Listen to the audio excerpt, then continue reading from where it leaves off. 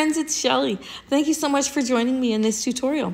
Um, we are going to make these really nice fingerless mittens. Um, like they're just so comfy and cozy and, and I've been wanting to make a pair for a while now and here they are. I was in Michael's and I got Yarn Inspiration Caron's Cake, Caron Cakes. Um, there, it's a four weight yarn and I got it in the colorway Rhubarb Cream. Um, now, these Caron cakes were on sale for five bucks. So I was so happy about it. There were three of them, and I bought all three. So be watching for um, more items from this uh, from this colorway um, in the future. I'm going to probably make a matching beanie and a matching scarf. Um, we'll see what all I make from it. But anyways, I deconstructed the ball because that's what I like to do. Um, and uh, use the colors that way.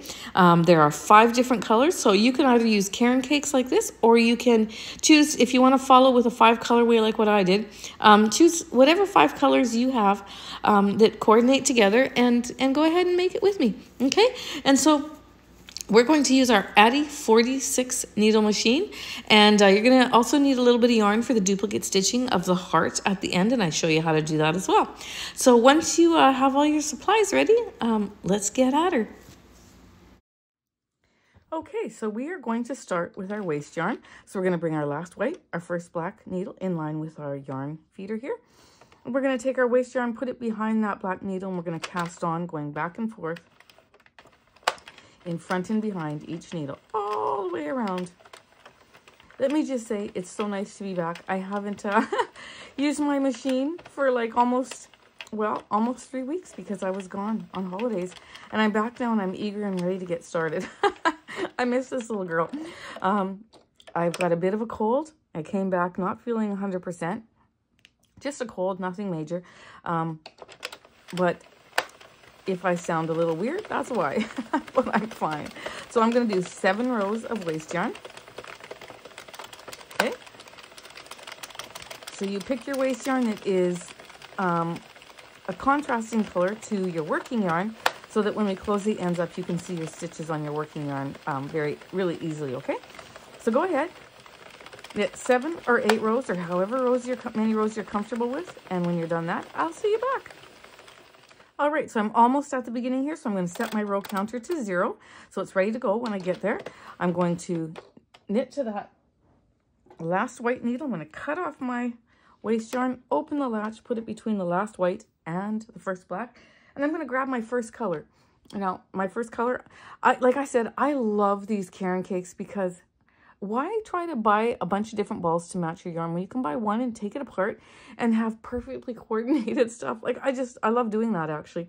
So I, um, there's five colors, and I'm going to start um, with this purple color here. So you figure out, if you're using different balls of yarn, you figure out what your color scheme is going to be.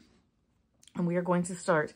Now, I learned um, a real good trick, like a really neat trick on how to change yarn colors and never have a line. Like you, you are going to be shocked actually um, if you haven't ever done that. And I will link the name of the person that I saw this from um, down in the description below to give her credit um, because she, it's just somebody I saw doing it. I thought, oh, that's brilliant. So I did, I tried it and it works wonderful. Um, but for now, we're going to add our working yarn into our yarn feeder in between that last white and first black needle. I'm going to hold both yarn ends and I'm going to begin knitting. So I'm going to knit three rows. Make sure it's not tight coming out of my ball. I'm going to knit three rows of my first color. That's one. And this is two. Oops. And coming around to do three. Oh, my handle. Okay. And when I get to this last white, first black needle, I'm going to go ahead and cut my yarn end, open my latch, put it between the last white and the first black. I'm going to take my second color, and normally we put it in our latch or in our feeder like that. We put it between our last white and our first black and, and uh, we continue knitting like that. But I'm going to take this new yarn end and I'm going to swing it back under this white needle. Okay, so this needle's going to knit two colors. And I'm going to go ahead and knit three rows of this new color. Okay, so this is three. And I'm going to come around. There we go. Found the right speed. I'm going to come around and we're going to take a look at those two strands from our color change, okay? I'm going to cut them a little bit. We're going to go ahead and we're going to grab them and we're going to tie a little wee knot. And as you tie it, you will see that this is tightening up that stitch that's on the, like, our first stitch. And then you're going to give it another little knot and you're going to just drop it and let it go. And that is going to make it a jogless join um, that is absolutely beautiful in the end, okay? So we're going to cut this yarn because we've done three rows. We're going to grab our next color. So I'm going to put that in between my last white, my first black. I'm going to grab this bright pink yarn. Normally, again, we would put it in just like that. We'd close the latch, we'd hold this, and we'd knit a few needles. But we're going to take that new color. We're going to just put it back. And we're going to let this needle here pick it up. So it's picking up two strands again. And we're going to do three rows. Okay. And when we're done the third row, we will tie that off. Now, if you were doing a blanket or something and you're doing like more rows, then you could wait like four or five rows of knitting um, and then tie it off. Just makes it a little bit easier. So here's row two.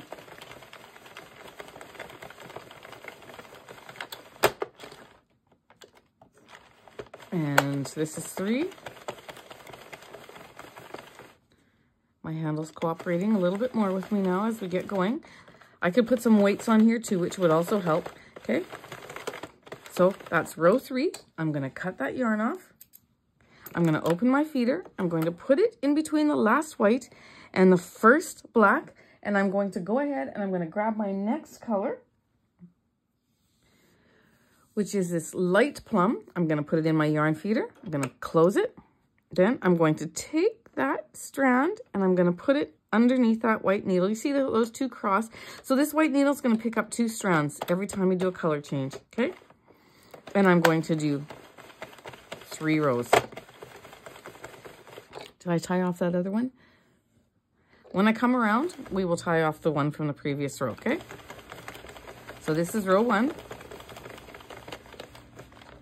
This was my color change. This was from the rows before, so I'm going to grab those and I'm going to give it a little knot. You can see those stitches snugging up close together, which is exactly what you want. Tie it off, cut it off, and you're done. As simple as that, okay? Now, some of you may have seen my last video of this mitt that I put up. Um, I took it down because I realized after the fact that I had gotten two techniques mixed up and uh, and I did it wrong. So that's why I'm redoing this um, and doing it the right way for your benefit and mine. Um, so my apologies too if you saw that last one and uh, and you know you realized how wonky the join was um, as I was doing it. This is a new technique for me. I'll, I'll, be honest, I've never done a jogless join before. And so when I did it, um, I thought I was doing it right. And lo and behold, I was doing it wrong. Okay. So I'm going to continue on in that manner, changing my colors every three rows until I get 33 rows, okay? So you choose um, what color variations you want yours to be. I'm going to do the dark plum. Um, then I'm going to do this blush pink, then a bright pink. And then I've got, um, let me see, where's my other color? This color here, which is like a mid-tone, um, a mid-tone kind of plum, I guess you would call it. And then I'm going to do my peach or my orange, okay? And then I'm going to rotate all five of those colors. I'm going to keep repeating all five of those colors in that um, manner until I get to 33 rows. And when I get to 33 rows, I'm going to add waste yarn and I'll see you back. I'm going to add my last color change, which is my purple, okay? I'm going to put it in there, then I'm going to swing it down under that white needle, okay? And I'm going to knit three rows.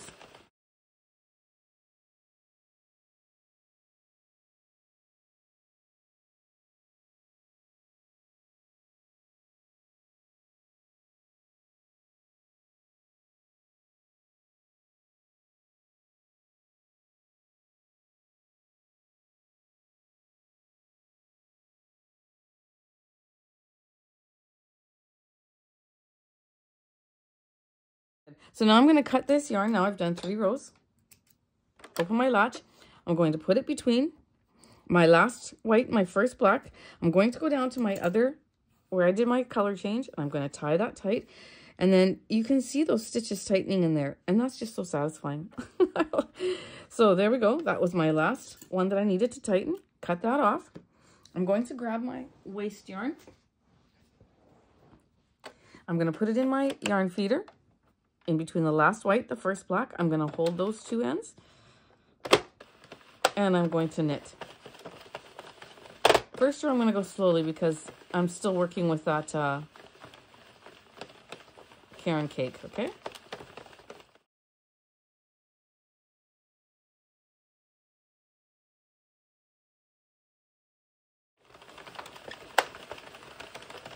Okay, so I'm going to go around until I get to that black marked divider.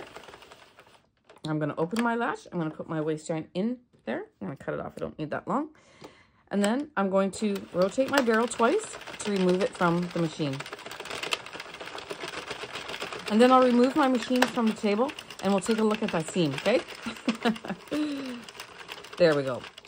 Project is removed and I'll be right back with you. All right, so I have my piece off the machine. I've stretched it widthwise and lengthwise.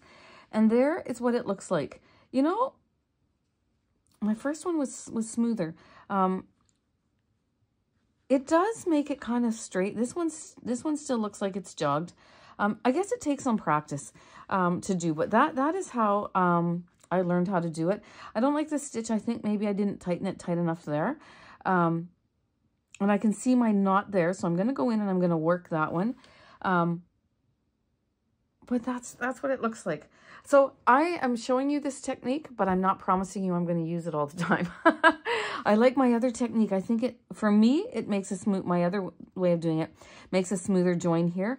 But um, I think it just takes practice because when I saw Betty's join, it was like beautiful. So, you know, there is a learning curve to everything that we learn that's new. And, and, um, although I've knitted a lot, um, I've, I've never done the jogless join. and so, um, you can tell. I'm going to keep practicing. So there you have it. Um, now we're going to uh, go ahead and we're going to close up our ends. So grab your crochet hook and two bobby pins or stitch markers and I'll see you right back. All right, so we're going to um, stay on this end that we're on. Let me just make sure. Yeah, this is the beginning of your project. You're going to take your waste yarn end and you're going to pull on it and whatever loop that come, uh, comes out of is where you're going to put your first, first stitch marker. Then you go to the left of that. Okay, and you will see that um, this one right here, your, your yarn end is coming out here, but it's right beside this one. So we're going to pick that up. So to the left of this one, there's two, one right on top of the other. You're going to take the top one. We know there are 46 stitches um, in this piece. So we're going to count, we want to get to the exact si um, far side. So we're going to count 23. 1, 2, 3, 4, 5, 6, 7, 8, 9, 10, 11, 12, 13, 14, 15, 16, 17, 18, 19, 20, 22. This is 23. So we know that stitch 24 and 23 are our very corner stitches. So I'm going to go under 24. Then I'm going to go under 23. This counts as 1. 23. Take it through the loop on my hook, which was the 24th one. So now I've worked two stitches. I'm going to go down to that bottom, pick up that next one. That's 3, up to the top, 4, down to the bottom, 5, up to the top, six, and keep doing that all the way across. That's seven, eight, making sure that you count them because um, if you miss one of these loops, then um, your row will unravel and you don't want that, okay? So let's just keep going till we get to the end. Just like that. And again, doesn't matter if you go over top like I do or underneath your stitch like that and put it through. Um, I, I've had that question more than once. Um, basically, all you're doing is picking up the stitch and bringing it through the loop on your hook. So it really doesn't matter how you pick it up, okay? So I just find it easier to go on top and hook it and pull it through, okay? Right across until you get to your first stitch marker, which will be on the bottom here. I'll show you when I get to the, to the end. All right, so just a reminder to make sure your yarn ends are outside of your tube because you don't want to sew them inside. Then you'll have to undo it to try to find those ends, okay? So this is 43, 44. These bobby pins are great because this is 45. You pull it up, get your hook under there, and sometimes it's tighter um, at the end, and it's hard to find those last stitches. That's 46, so that's where these bobby pins are my best friends, okay? And then we're going to yarn over, pull it through that loop.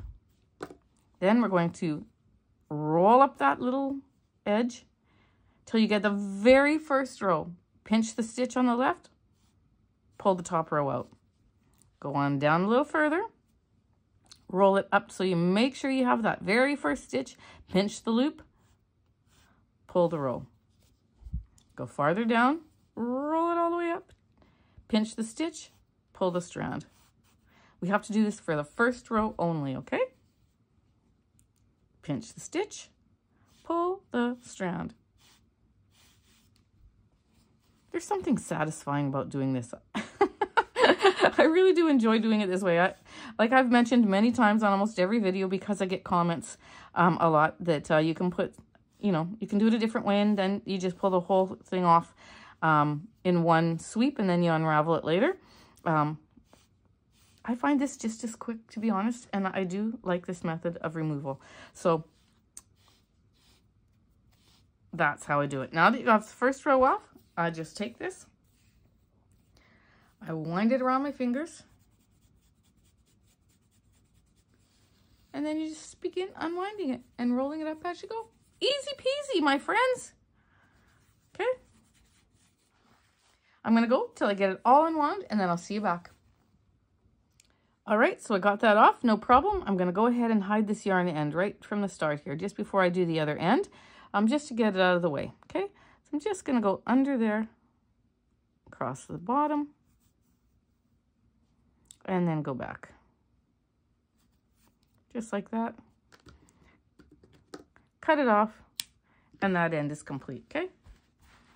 Aren't these colors just gorgeous? Like, oh, like I'm just sold on the fact that you buy a Caron cake that, that changes colors, you separate them.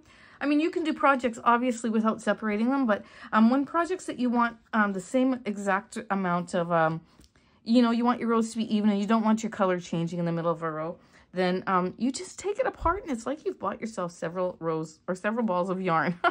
I just think it's genius. I love it.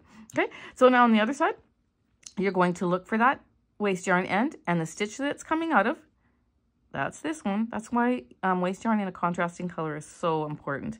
That's where you put your first bobby pin. Now, when you pull this, this is the loop. So to the left of it, the one with two loops, but but this top loop is attached to this to this uh, strand. So just um, you know, just to give you another idea how you find it. Okay. Then make sure your yarn ends are outside of your work. You're going to go ahead and count 23 and 24. Put your hook in 24, then pick up 23 and bring it through, and you're going to close it just like we did the other end. And when you get to this end, I'll be right back and, and uh, join you, okay? All right, so this is 45. Put my hook under it, pull it through, work it, pull up on my bobby pin, get underneath number 46, take out that stitch marker, work it, yarn over, and pull it through to close it off, okay? This is my long sewing tail, so um, I have to pull it through that way. And now this side just unravels very, very easily, okay? And you can go ahead and get that tail out of the way. But you know what? Some genius lady, another person in a Facebook group, um, I'll show you what she did. I'm going to do it with this this one.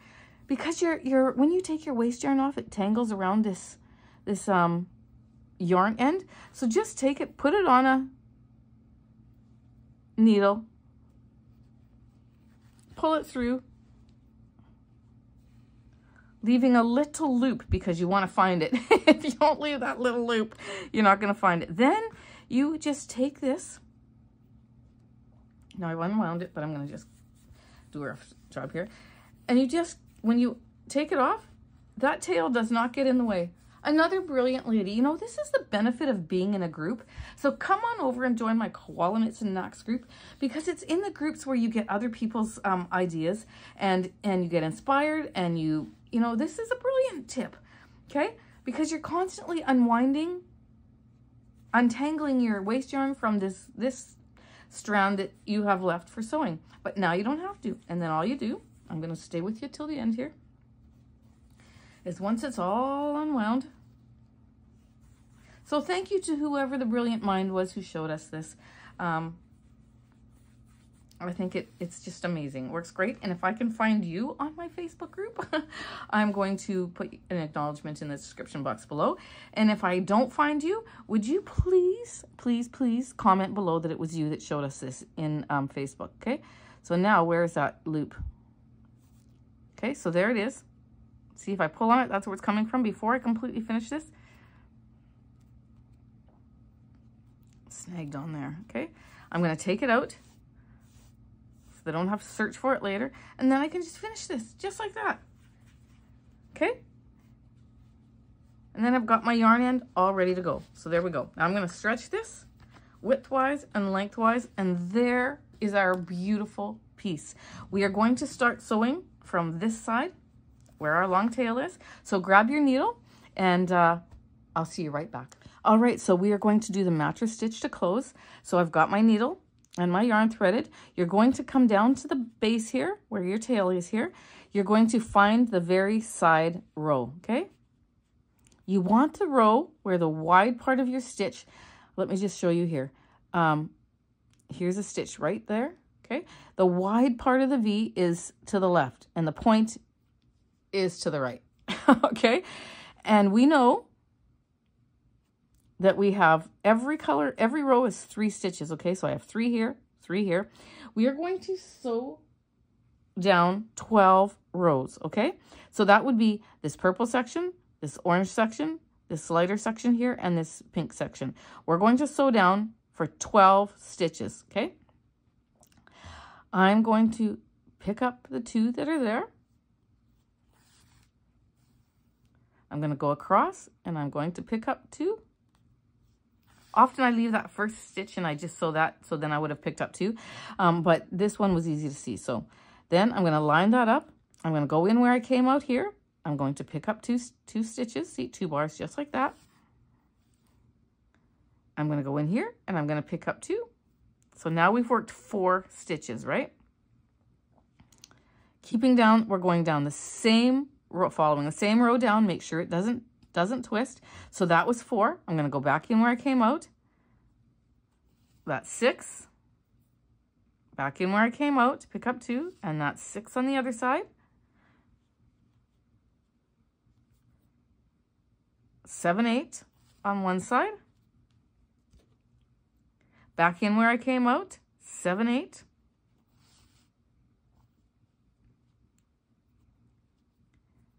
And this is two more, that's 10.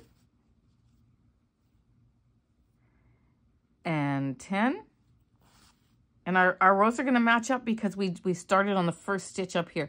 If you start on the six, on the second stitch and then sew this up later individually, if you start on the second stitch here, you have to start on the second stitch on this side. Um, otherwise, uh, it's not going to match, okay? So now I'm going to go down, pick up two more. That's 12 and 12, okay? I'm going to go ahead and I'm going to pinch at the top here and I'm going to pull this around to close, okay? Just like so.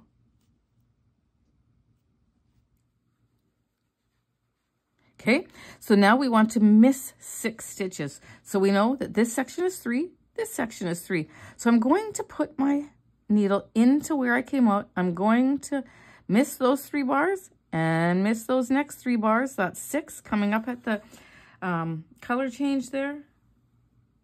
And I'm going to just get it snug there, but not not pulling too tight, okay? Just to get the get the yarn straight there, okay?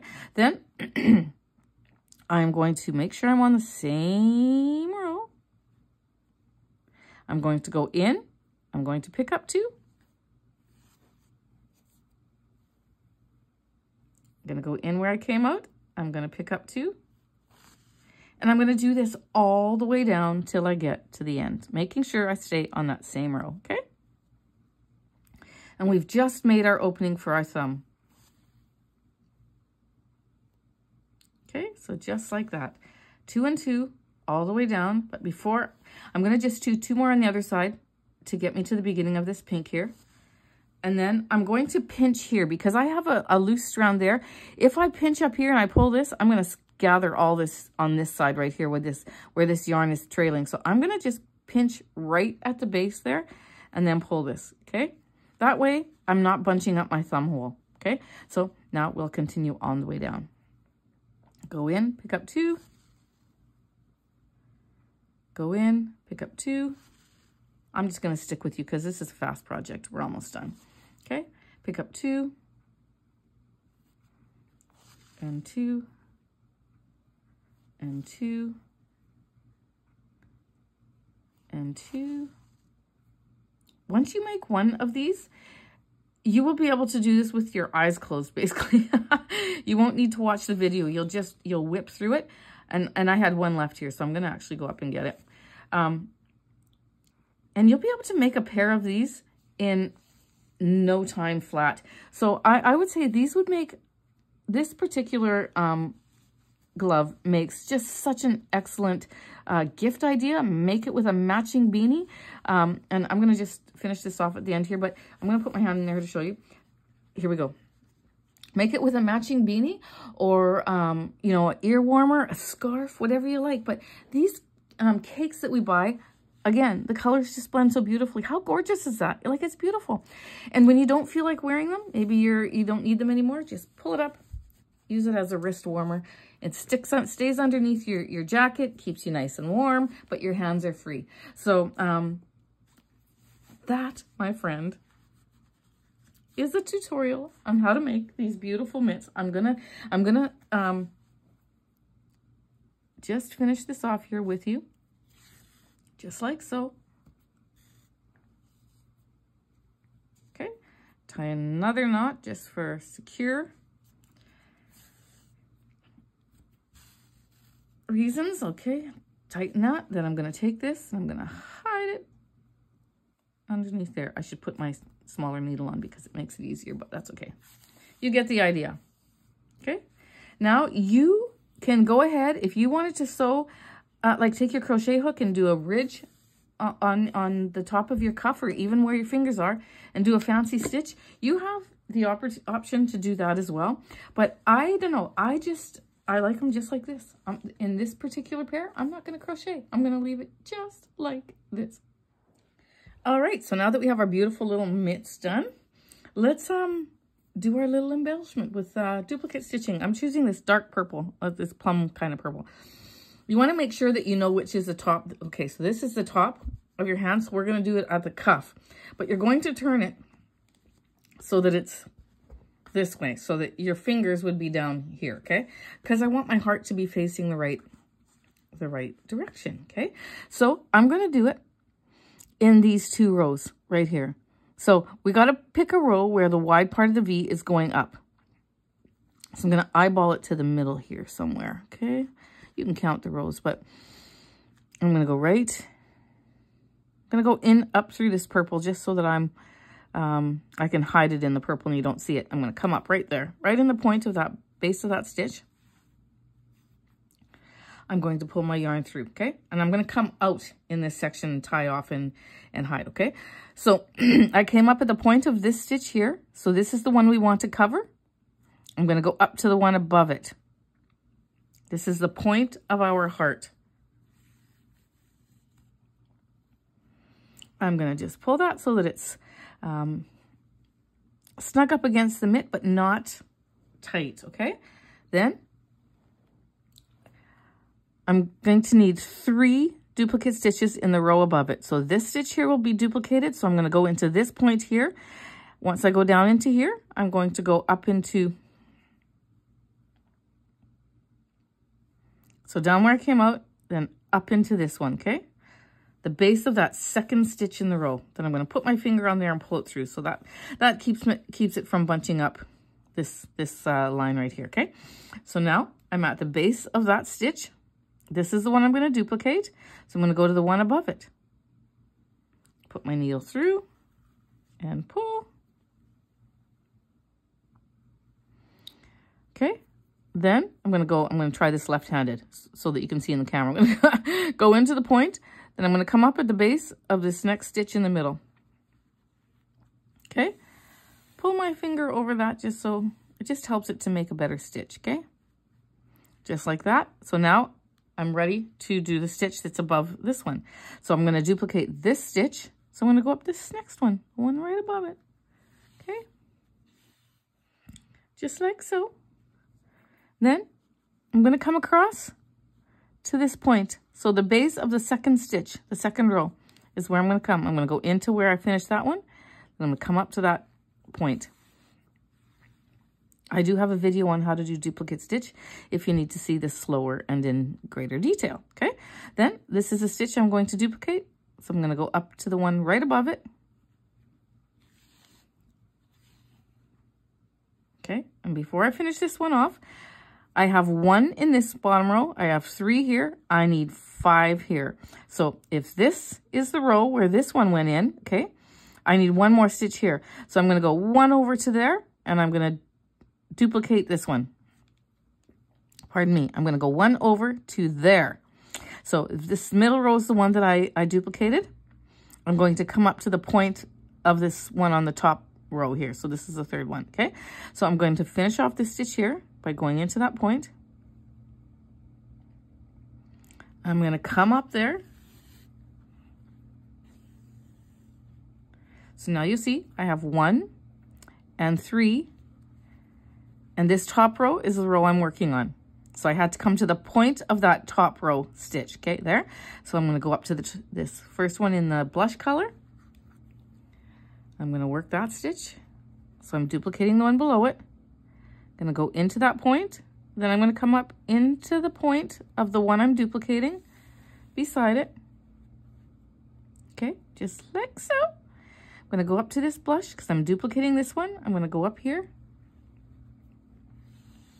I'm going to do five stitches across. So this is two. I'm usually so terrible with my left hand that I can't believe this is actually working, but hey. That second one, this is the one I'm duplicating. So up into the one above it. Three.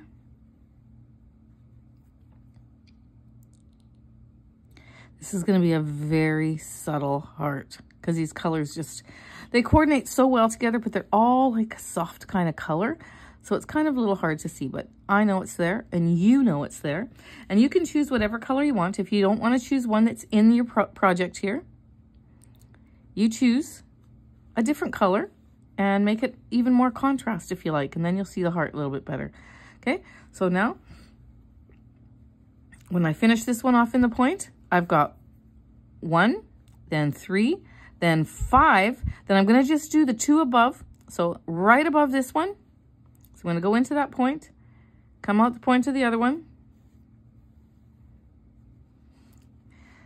See, one, three, five. Now I'm going to do two. So right above that last one. You can draw this out as I'm as like follow it back and, and draw it out and then go back and do it do the work. It's easier that way, okay? So there's two there. Now I'm going to do another one here. Okay. I'm going to miss the middle one. I'm going to go over and do the end two. So there we go.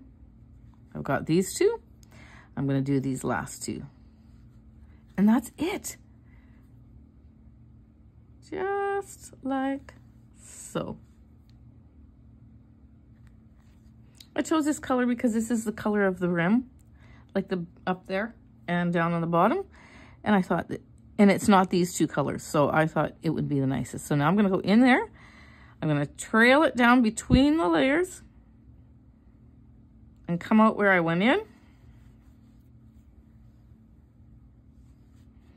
See, I finished that off and it is a heart, sort of. No, it isn't. It is a heart, but you don't see it very well. I thought it would be a little bit more. Maybe you see it in the camera a little bit better, but this is the heart, okay? And so then when you put it on, the top of the heart is up here and the point is down. So when your hands are down, your heart's not upside down. So that's why you had to turn, um, put your fingers down here and, and then do it, okay? So now I'm going to cut that off. I'm gonna tie a knot, but don't tie it so tight that it pulls on that last layer.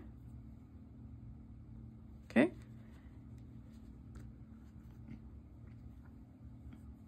And then I'm gonna hide it. Peek it in there, pull it out.